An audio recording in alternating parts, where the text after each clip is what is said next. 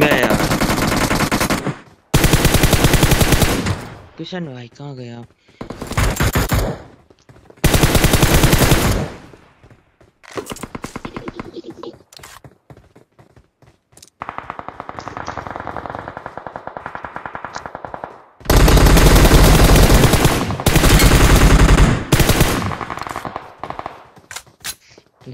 back to back.